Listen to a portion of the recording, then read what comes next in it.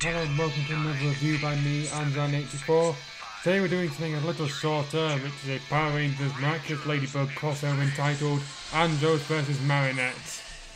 Andros had barely any time to morph, this mysterious ladybug was attacking him. Give me your morpher, you don't deserve to be a hero. Her yo-yo smashes helmets, capitalized, tearing out a huge chunk off it, sending it flying.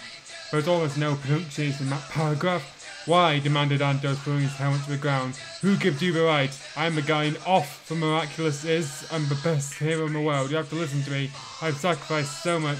Girl, you don't know the meaning of the word. Andros shot her with his Astro Blaster.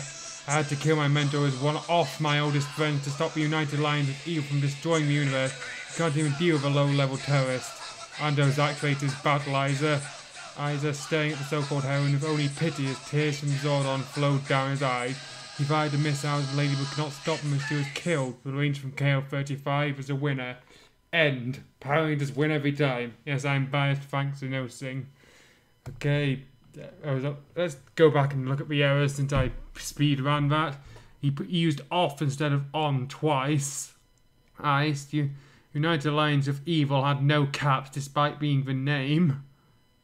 Aim, well, there's no full stops or, or commas anywhere in this, which makes it look better. Really bad. And he misspelled battleizer with no E. e and so called is spelled without a, out a dash. Let's not forget this is basically a, a one-sided hate fic.